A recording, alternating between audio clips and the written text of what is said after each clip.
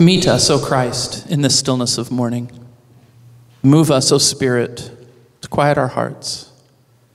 And mend us, O Father, from yesterday's harms. From the discords of yesterday, resurrect our peace.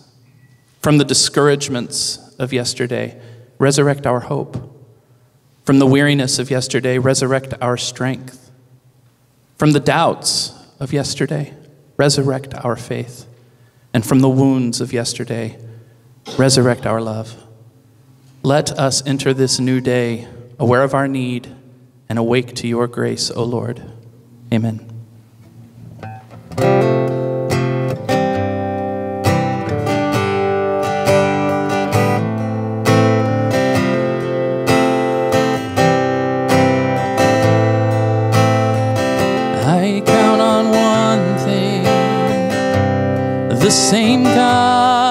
Never fails will not fail me now. You won't fail me now in the waiting. The same God who's never late is working all things out. You're working all things out. Yes, I will lift you high in the valley. Yes, I will bless your name. Yes, I will sing for joy when my heart is heavy all my days. Yes, I will.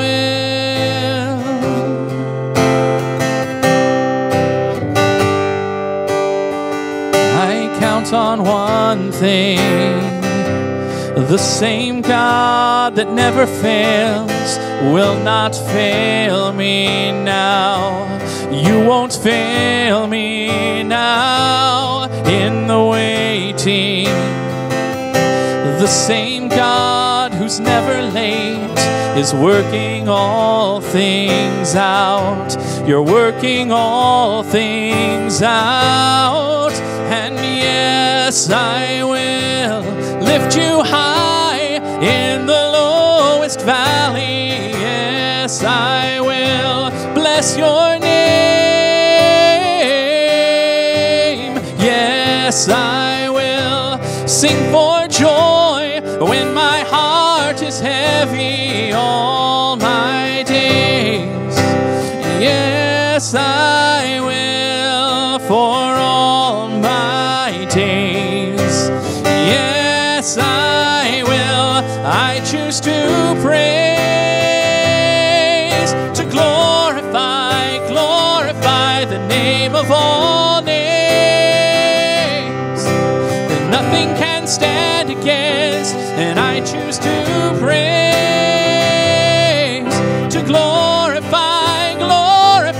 the name of all names that nothing can stand against. Yes, I will lift you high in the lowest valley. Yes, I will bless your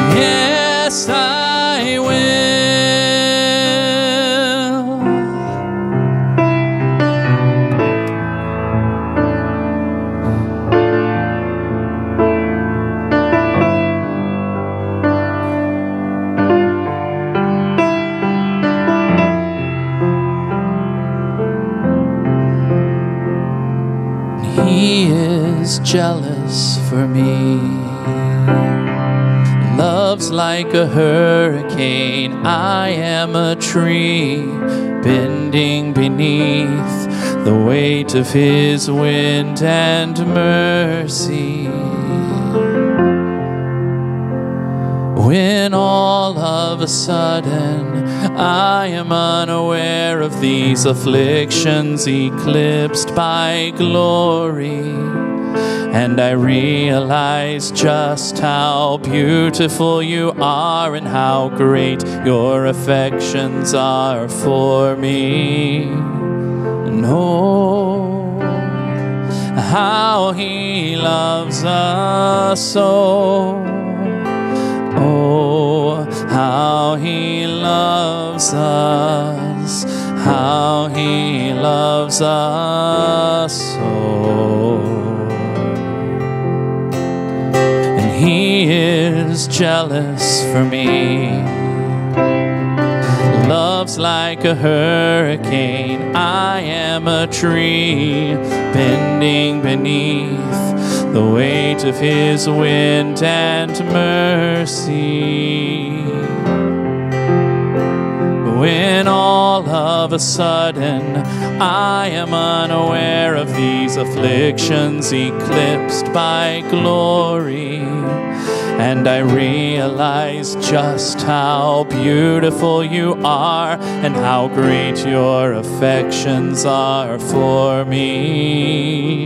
And oh, how he loves us so. Oh, how he loves us, how he loves us, oh, how he loves,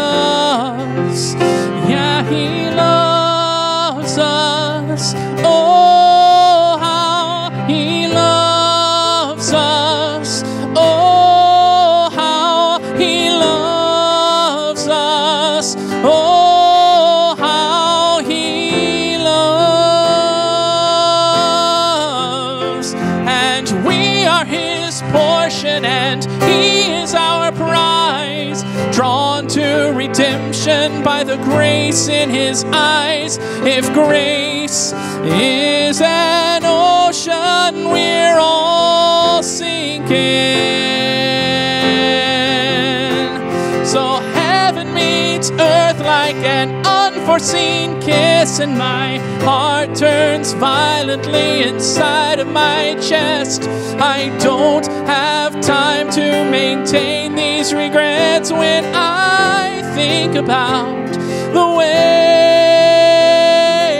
Oh, how he loves us so.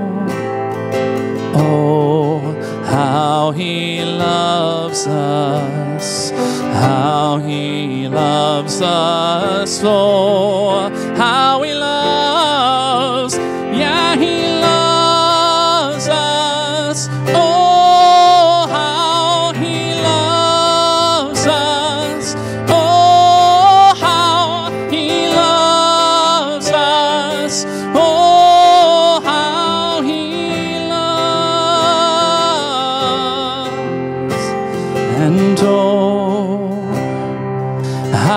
he loves us so.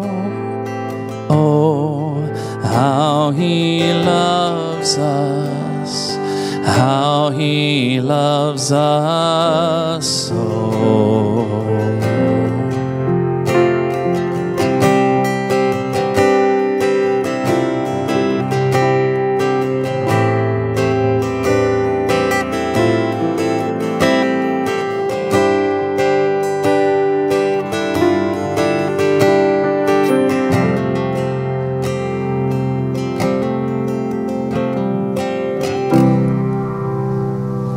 Will you please stand as we read our key text for today? I will be reading from John 1 1 through 18 in the New American Standard Bible 2020 update. In the beginning was the Word, and the Word was with God, and the Word was God. He was in the beginning with God. All things came into being through him, and apart from him, not even one thing came into being that has come into being. In him was life, and the life was the light of mankind. And the light shines in the darkness, and the darkness did not grasp it. A man came, one sent from God, and his name was John. He came as a witness to testify about the light, so that all might believe through him. He was not the light, but he came to testify about the light. This was the true light that, coming from the, from the world, enlightens every person. He was in the world, and the world came into being through him, and yet the world did not know him. He came to his own, and his own people did not accept him. But as many as received him, to them he gave the right to become children of God. To those who believe his name, who were born not of blood, nor of the will of the flesh, nor the will of a man, but of God. And the Word becomes flesh and dwelt among us, and we saw his glory, glory as the Son, only Son from the Father, full of grace and truth. John testified about him and calling out, saying, This was he of whom I said, He who is coming after me has proved to be my superior, because he existed before me. For of his fulfillment we have all received, and grace upon grace, for the law was given through Moses. Grace and truth were realized through Jesus Christ. No one has seen God at any time. God, the only Son, who is in the arms of the Father, he has explained him. You may be seated. So, as you, uh, good morning, everyone. Um, I have a table because I need a table for my coffee. Uh, but this morning, uh, as we get started, uh, the Christian Bible, as you know, is separated into two testaments. Maybe you don't know this. I think sometimes we just assume everyone in church knows everything. But just in case you don't, the Bible is, as we know, it is separated into two testaments. We have what is commonly known as the Old Testament, maybe the Hebrew or Jewish Bible, and uh, that is uh, the, the first part of the Bible, right? This is the text that Jesus would have read as a child. This is the text that's been around inside the Jewish tradition for years. Inside, we have on the second side, we have the New Testament or Christian Testament. Now, this contains the Gospels, the epistles. This is the story of Jesus, the story of the early church. And then, um, as one theologian put it, it's a theological knife fight because basically all of these letters come because they're trying to solve a problem that has emerged in the church. Because imagine that. People in church are arguing in the first century. And so that was a joke because, no? Okay. Um, and so, as we start the New Testament, the New Testament starts with four letters.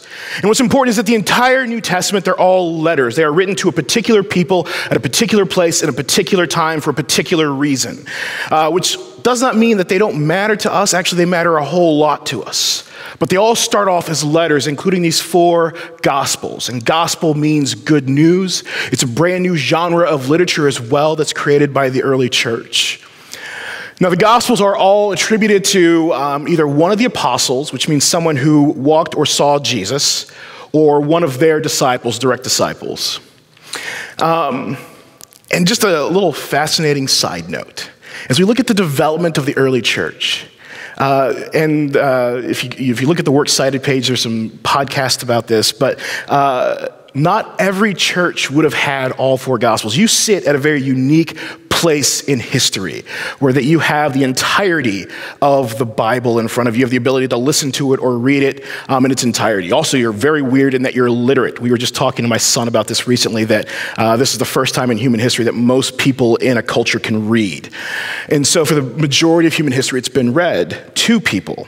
Um, but anyway, in the early church, there would have been communities that may have only had like the Gospel of Mark or just the Gospel of John, which is fascinating because if you have just the Gospel of Mark, Mary's only mentioned twice, and that whole virgin birth thing doesn't show up. He starts off almost immediately in ministry. And so, this is an interesting thing that happens in the development of the church. It really has not a whole lot to do with everything we're talking about this morning, but it's a thing that I love to nerd out about um, as we just think about how we got to where we're at. Um, so, the first three of these gospels are called the synoptics. Um, and what they do is they basically are a what focused retelling of the stories of Jesus. We're pretty sure the earliest one is the Gospel of Mark, written around 50 CE or AD, whatever your preferred timing uh, designation is, but about around the year 50. It would come after probably the writing of First Thessalonians, because Paul's the one who kicks off this idea of writing letters.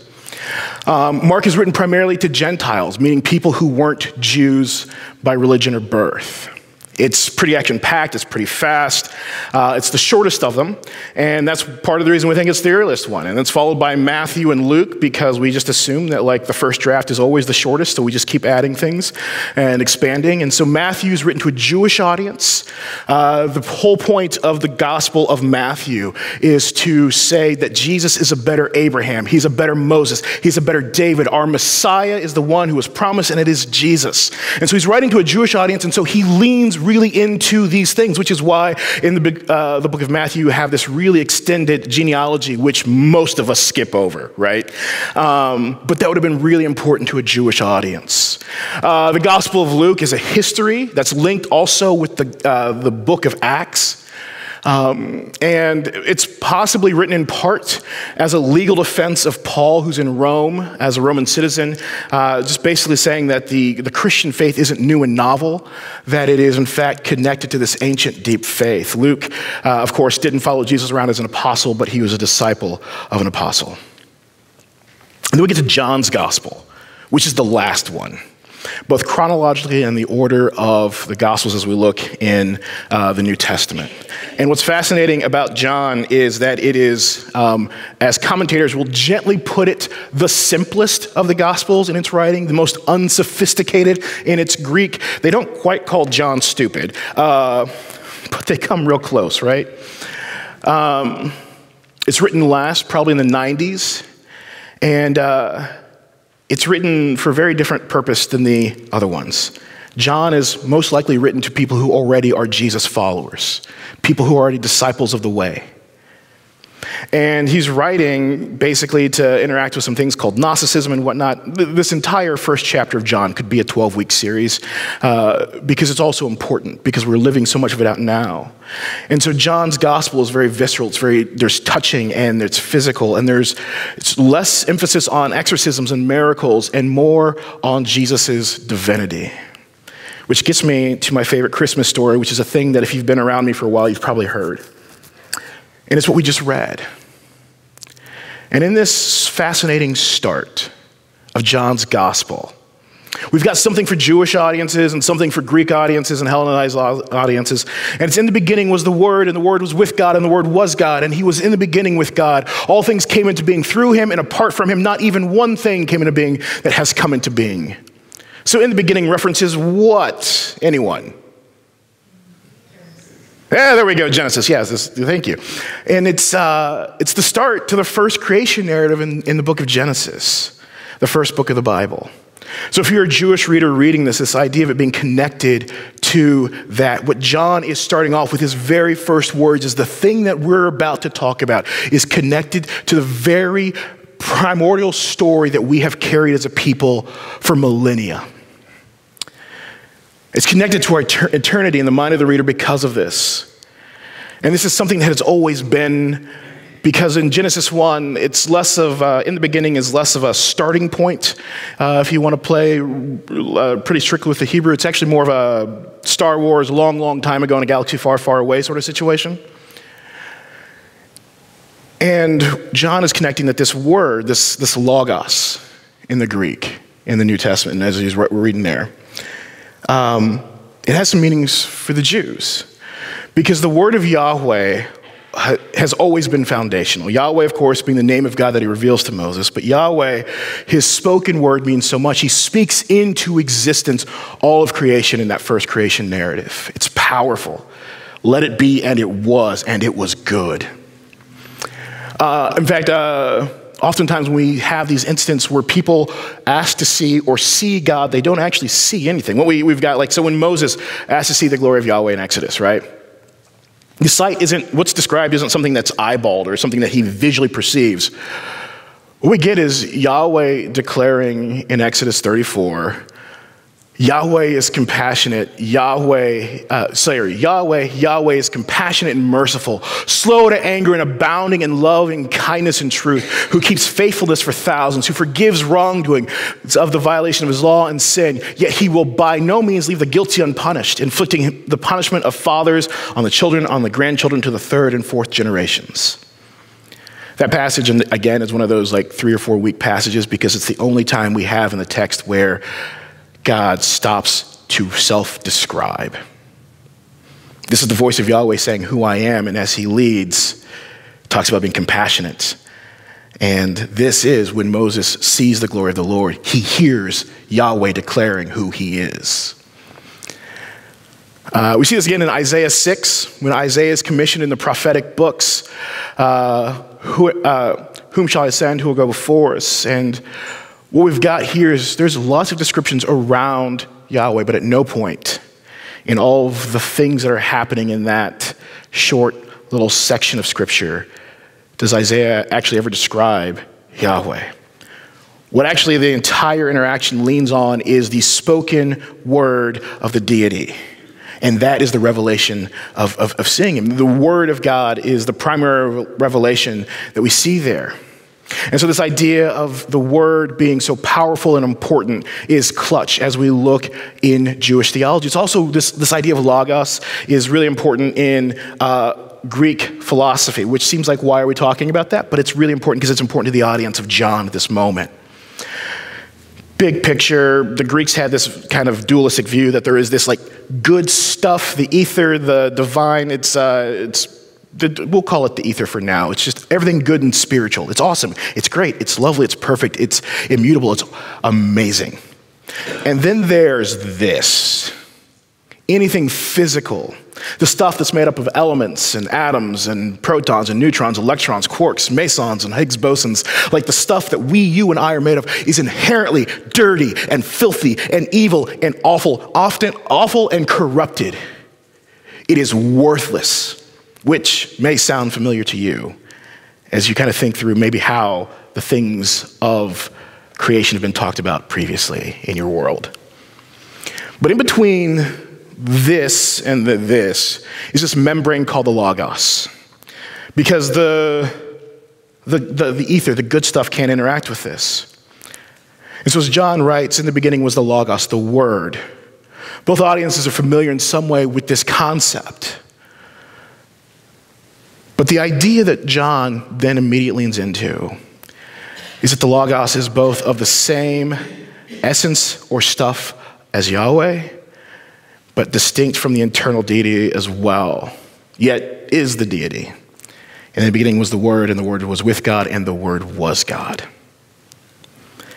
This is a complex thing that we have been talking about for about 2,023 years. As John's original audiences would have read this, it was probably a little bit offensive. It was very weird and very hard to understand. Uh, we know that because it's hard for us to understand. This idea that the word that he's describing is both of God and is God and is showing up is difficult, but it's important because of what John describes about the word coming here. He, the Word, was in the world, and the world came into being through him, and yet the world did not know him. He came to his own, and his own people did not accept him. So, quick pause here. Again, as we look back at that Jewish Testament, throughout the prophetic books especially, the common refrain of Yahweh is that I will be your God and you will be my people. This idea that he came to his own is that he wanted to come to his people, his people being not just the Jews, but the entirety of the world. Um, through lots of reasons, that didn't happen. But it's this idea of a return to the garden state, and the you is a global. But continuing further in the text, and the Word became flesh and dwelt amongst us. And we saw his glory, the glory as the only Son from the Father, full of grace and truth. This is what's called, in fancy theological words, the incarnation. Quite literally, it is the inmeatness of God that the creator of the universe, the one who everything was created through, the agent of creation as we see the Spirit hovering over the waters of chaos in Genesis, and the one who has been, everything has been made through, puts on skin and bone and muscles and hair, and is born to a teenage girl in the backwater of the Roman Empire. This is the story that John is talking about. And this is actually undergirds the thrust of his gospel is, that, is this in meatness is that he puts on this physical matter and this um, even as john's describing it, it has this, these echoes of back in exodus when, when yahweh self-reveals and says uh, he says that when yahweh reveals he says i'm compassionate and merciful i'm slow to anger abounding in faithfulness and truth I keep faithfulness for thousands, forgive wrongdoing and the violations of law and sin. The term there for um, faithfulness, um, abounding faithfulness, is hesed. And hesed is the New Testament, the New Testament translated as grace. It is undeserved, loving kindness, goodness, and mercy. Uh, Yahweh can do it to humanity. Humanity can do it to humanity, but humanity can never give hesed to Yahweh because he is the des- deserver of everything, because he's the creator of everything. And so in the New Testament, as John is writing his gospel to these Christians who are struggling and who are wondering, was this Jesus a physical being? Was he just a spiritual apparition? And all these sorts of things. John says he puts on skin and meat and he comes and he dwells among us, coming in grace and in truth. He also uses this term to dwell amongst, dwell among us. And what that is, that term in the Old Testament is to tabernacle with us. If you uh, have read through the, the Old Testament, you'll know that there was this thing called the tabernacle, kind of walked around uh, the Ark of the Covenant, if you've ever uh, was there. Um, if you think about the, uh, Indiana Jones, if you're from the 80s. Um, but this was this reminder, it was an echo of an echo of what the throne room of, of Yahweh looked like here on earth. But now, instead of an echo of an echo, what we have is the very real presence, the creating essence here among us. Temporarily, just like the ta- tabernacle, but here amongst us.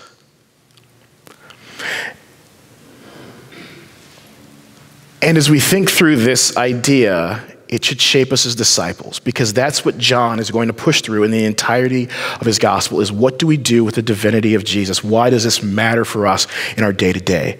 All this stuff that maybe none of us care about so far, why does it matter? And it matters because if we are disciples, we are supposed to take on the yoke of our rabbi or the teaching of our rabbi. We live it out, we share it, and we moves us forward. And so John will spend the rest of his gospel writing about why this in meatness, this incarnation matters so much, and why it matters so much that the incarnation came in grace and truth. Not truth and grace, but grace and truth. In the ancient Near East, especially in uh, this region of the world, what was more important or what there was more of or more like weight to comes first. And what comes first is grace and truth. There is no truth without grace, and there's no grace without truth, but grace is the thing that leads. And as Jesus, um, and we think about Jesus in this, uh, as he's living out not just this in meatness and coming down here, we think about who we see Jesus spending time with. Uh, Jesus' first miracle is at a, a, wedding feast that's being celebrated. Um, and the insight to that miracle isn't given to the person who is wealthy and throwing the wedding, it's to the servants who saw the miracle happen when Jesus turns the water into wine. He spends time with Samaritans, and the, it's hard to get a 100% analog for the Samaritans in the 21st century. Uh, there's a couple different categories. They're biracial, um, half Greek, half Jewish. They're the, the, remnants of what happens when the, the Greeks invaded, uh, you know, a couple generations ago, because in all of ancient history, the way that you pacify a population is you breed them out of existence. And the Samaritans are the leftovers of that, and they have this weird half Jewish, half not Jewish faith, and basically everybody hates them. That shows up a lot in the New Testament and in the ancient Near World. Um, Jesus spends a lot of time with women and children. And we've talked about this before here that they aren't really highly thought of, they're kind of worthless. Not my view, but that is the view of culture at the time. We start to look at the other gospels. Uh, he eats with the sinner, the outcast, the people who aren't good enough. Uh, his collection of mostly adolescent disciples, the core, the 12, uh, include, uh, you know, a thing that I say a lot, probably, is a guy who's probably a freedom fighter or an insurrectionist, depending on what side of Roman history you're on. Uh, he's got two brothers who are always ready to, to fight. At one point, the sons of thunder are miffed because they were not invited into a village and they ask God to call down fire. They, they basically asked for an airstrike on women and children in a village because they were upset that they'd been offended. Uh, Jesus, by the way, does not do that and, and backs them down. Um, we have a collaborator, a traitor in the tax collector. Uh, and there's a guy that to this day we still call Doubting Thomas because he asked reasonable questions. Jesus wasn't with the elites or the smartest or the wealthiest most of the time. And part of that is, is because the politically connected tried to kill him as a baby, um, and then they would also later murder him uh, on a cross. Uh, the most educated did not like him at all either. The Pharisees, as we see them, uh, love their theology way more than they loved the one that they were theologizing about. The wealthiest were uh, not wanting their prosperity interrupted. So we see that in the Sadducees, who were the wealthy kind of leading class there. And so we got to ask for ourselves when we look at who Jesus is hanging out with, the stories that he tells, what does it mean for us as disciples? And I think what that means for us is that we also go to places of hurt and harm to love those that no one else will. We never did anything to earn the grace and even the truth of God. Like this is this is essential to our fundamental beliefs as, as a church and in ch- Christian history is that we have never earned this. Everything that we have is because of his goodness. We are the benefactors of his grace. And so when he moves towards us, which is this consistent thing. He moves towards Adam and Eve in the garden after the sin incident, and that question of where are you, I don't think is a question of like, I don't know where people are at in my kingdom, is a, it's an invitation to come home. Uh, again, he moves towards uh, humanity in covenant relationship. He, uh, through the prophets, every time it is, it is Yahweh making the first move towards us, even though we are fighting and screaming and kicking and swearing and cursing him. And so he moves towards us in love, and we, uh, a lot of us this morning, say we're Christians, that we follow this Jesus. And I think that if we're going to be Christians, if we're going to follow this Jesus, we have to do what Jesus did and what he tells us to do because that is the best example of who God is. It is the Word made flesh who comes in grace and truth. I believe that Christians go to places of hurt and harm to open ended stories where we don't know the end and the outcome. And this is what underlies my basic theology of life, but also my, my, theology of chaplaincy, which is the thing I'm supposed to be talking about this morning. And you're like, oh, finally, we're getting there. Um, so, John asked me to talk about chaplaincy, and we're gonna, uh, we'll talk about it more downstairs um, in, the, in the venue. I'll ask, answer some specific questions in a Q&A because uh, children are here. Um, but overview of what I do. Uh, so I've got, I, I help basically, uh, in my role as a law enforcement chaplain, I work with the police officers. Um, and if you grab the handout on the way in, you'll see that they have a 21 year shorter life expectancy than everybody else in the general population. That's from a Buffalo study done out of Buffalo, New York, uh, I want to say in the 80s. Um, they have a higher suicide rate uh, than the rest of the background population. Have a heart attack. Uh, average age of a first-time heart attack for an law enforcement officer is the age of 40. Um, for the general population, the first-time heart attack usually doesn't happen until 60. Um, they have a really stressful job, and we forget oftentimes in society what we ask them to see and hear and smell and remember on our behalf so that we don't have to. Right? So, my role, officer facing, is to ask Do you want a snack? Do you want a cup of coffee? Do you want to talk about your feelings? Um, the first two are to trick them into the third thing. Uh, uh, I do a lot with officer wellness and that sort of thing. Uh, I interact with a lot of families in crisis. One of the things I do is I tell people that their loved one died. Um, and uh, I do a lot of that. Uh, sometimes uh, going to homes and telling people that, like, hey, your kid was in a pretty terrible car accident. We don't know if they're going to live and you need to be at the hospital. Uh, I sit with kids as DCS is removing them from homes. This is what I do in my role, right? I also do some community facing things, so I interact with our homeless population. And uh, if you ever want to know, like, what's a thing that I can do to help in Columbus, I generally probably have five or six projects because I just know where hurting is happening. Uh, I also do some things with schools and whatnot. Uh, if you ever want to know why your teenager shouldn't have a cell phone or your kid shouldn't have a cell phone, I will tell you stories about what my detectives are dealing with this week alone. Um, I really won't because I can't, but I will tell you that it's all awful and your kid is good, but um, also the world is not always great. So, this is what I do. Um, and uh, I do this because I have a fundamental belief, uh, or at least theologically, why I do this is because I have this fundamental belief that we move towards where there is brokenness and hurt. So I move towards my officers because their divorce rate's incredibly high. They are carrying, again, the scars of the world and the things that we ask them to see on our behalf. And my role there is not, I'm not their pastor, um, but helping them towards wellness. And in that, do I get to have really great conversations about Jesus? All the time. Um, I sit with families in crisis and help them navigate what's next. Because oftentimes, what we need is just someone to give us the practical next step.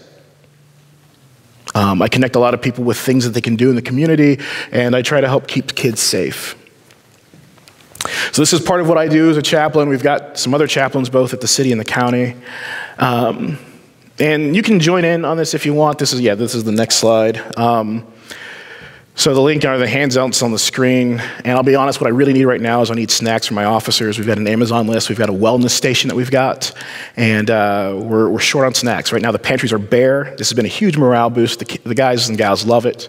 Uh, there's something about like, hey, people in my community bought me a cup of coffee. They bought me, you know, um, pistachios, which they are pistachio crazy. Um, they just really like, these are the things that they, that it means so much um, when at two in the morning everything's closed, oh, there's a place that has been provided by people in my town who love me enough to take care of me. Um, that's what I need right now. Um, but there's more information there, and we can talk more about it later. Um, I also take Sam's Club, Walmart, and Target gift cards for that as well. All this, right, though, comes out of, as Christians, we are called to move towards brokenness as ambassadors. Ambassadors are not responsible for the outcomes of the message. Ambassadors are not responsible for creating the message. Ambassadors, as a role, make a representation to people as they've been sent by the government. So when our ambassador goes and speaks to, you know, the government of Lithuania, the ambassador is not making decisions. It's uh, on behalf of us as a people, and really the executive and uh, legislative branch mostly. And so we, as ambassadors of Christ, are responsible for carrying the message. We don't know the outcome. Not every story is rosy and happy and pretty and a nice, neat bow. Um, but we carry the message everywhere we go. We find places to go. We don't get to have uh, this feeling of, I don't like those people uh, because of, you know, who they love or what or like what their profession is or where you know how they vote. We don't get to have that. Ours is not to do that. Ours is to come in grace and truth. Again we tell the truth and we show up with it but we show up first in grace. No one cares how much you know until they know that you care about them that is a almost universal thing. And so we join him we join jesus in what one commentator called a statistic, statistical failure of a mission because fewer people will come to Jesus because of our action than that won't, right? And we see this even in Jesus' own ministry. we join him in that, not because we are good or because we want to feel good or because we're great. We do it because he did it. And he continually moves towards, and to this day, bears the scars of what it took for us to be rescued and freed and loved. And so, Christians, I don't think we get out of this world unscathed because I don't think we're called to be safe. I think we're called to be next to the King as he's liberating the world from darkness. And that does not come without being harmed. But we do it because we are with the King in that. We join into these open ended stories directly because this is what our rabbi did. So this morning, uh, I think the call for all of us is to figure out those places and ways that we can join in and we can move towards places where we show up in rescue and in hope.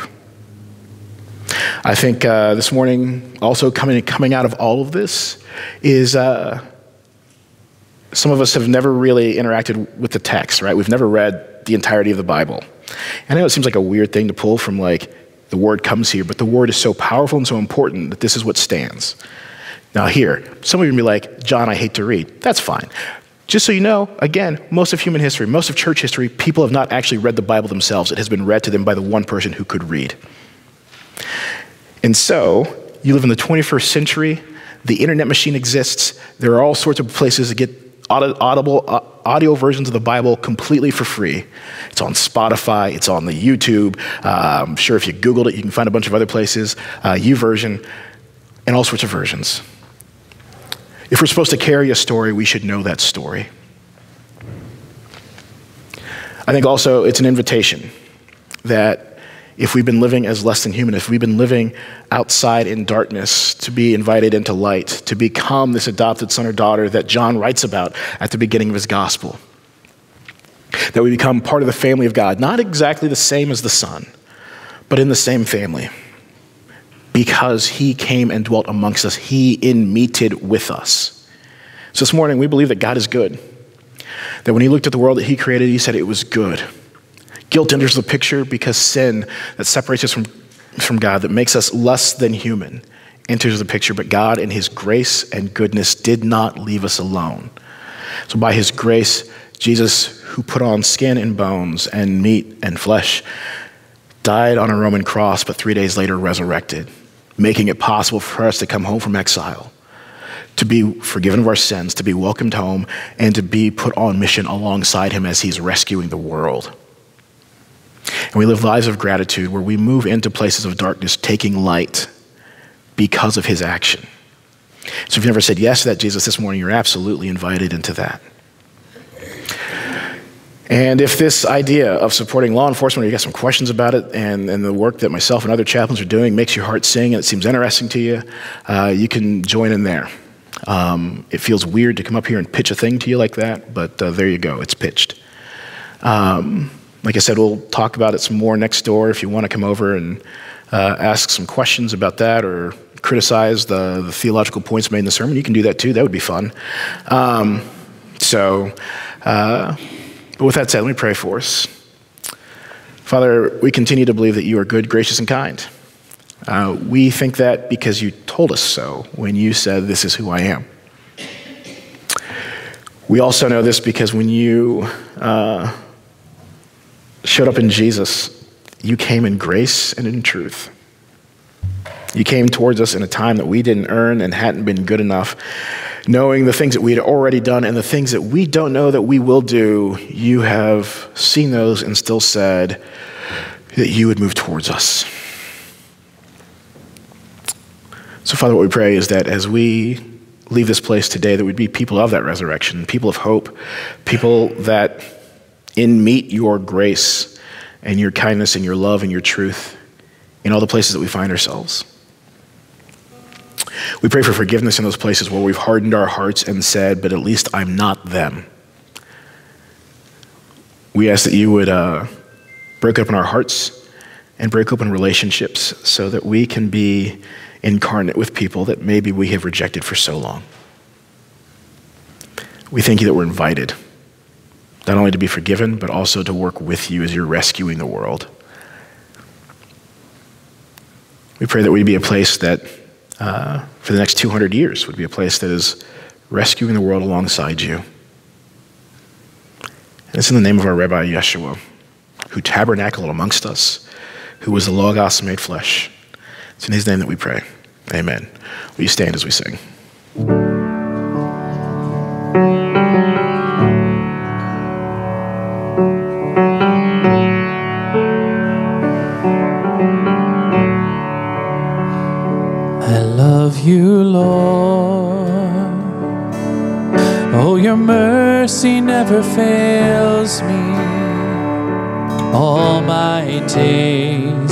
I've been held in your hands. From the moment that I wake up until I lay my head, I will sing of the goodness of God. All my life you have been faithful. You have been so, so good. With every breath that I am able, I will sing of the goodness of God.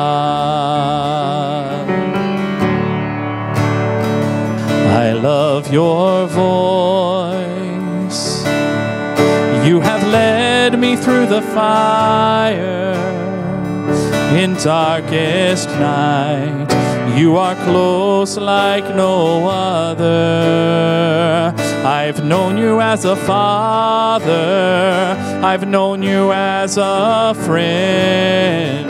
And I have lived in the goodness of God.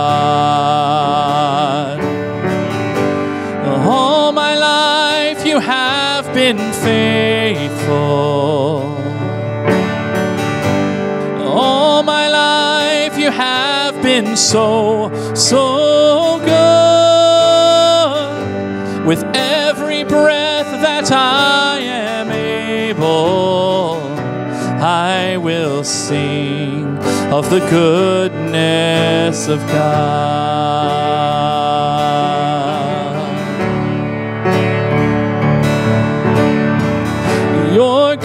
Goodness is running after, it's running after me.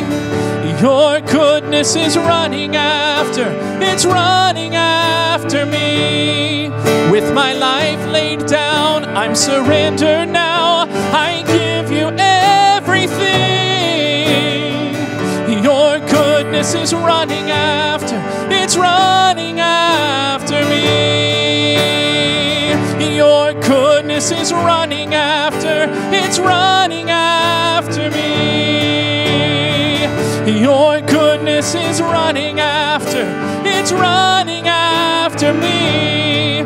With my life laid down, I'm surrendered now. I give you everything. Your goodness is running after, it's running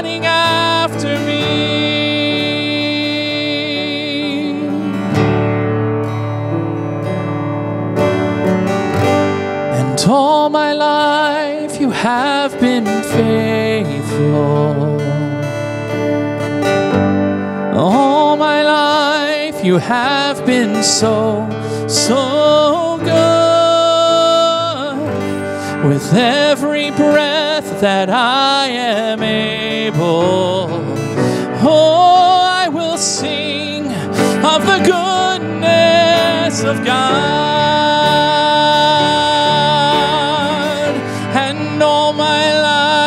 Have been faithful. All my life you have been so, so good.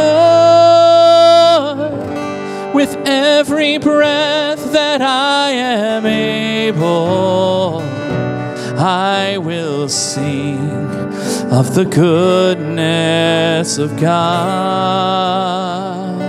I will sing of the goodness of God. Oh, I will sing of the goodness of God.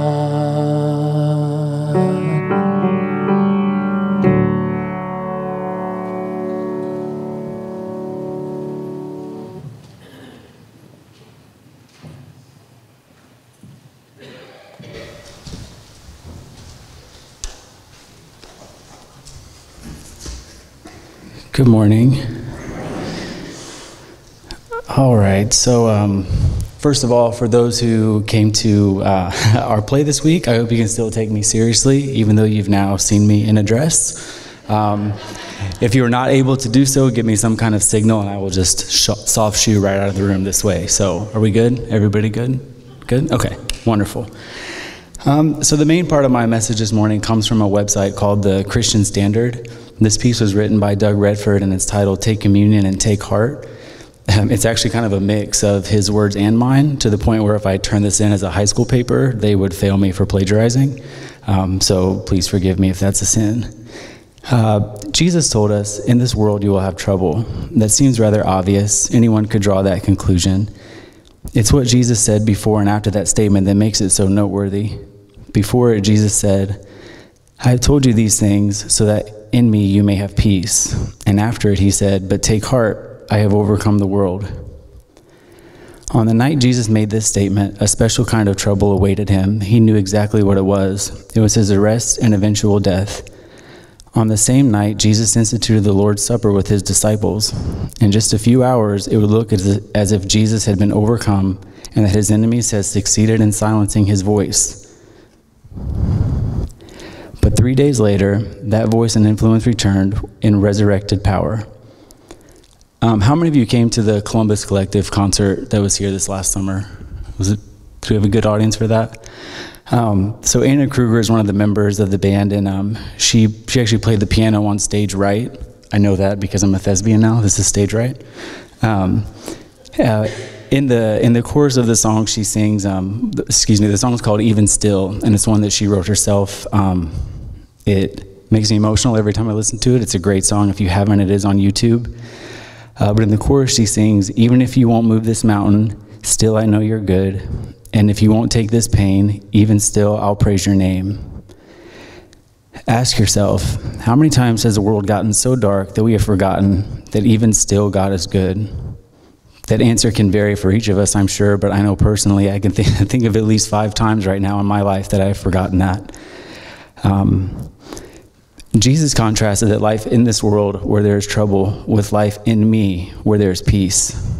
Communion offers us this opportunity to remember that while we live, that while we must live in this troubled world, we have also chosen to live in Jesus, in the kingdom, which is not in this world. As we take communion together today, let us also, as Jesus said, take heart. The overcomer has made each of us overcomers.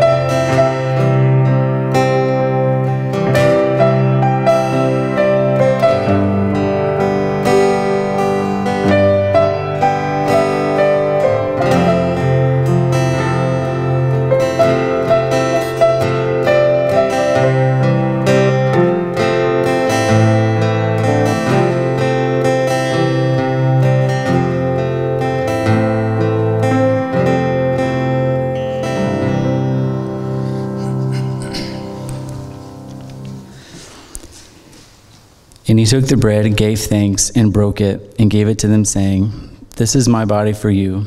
Do this in remembrance of me.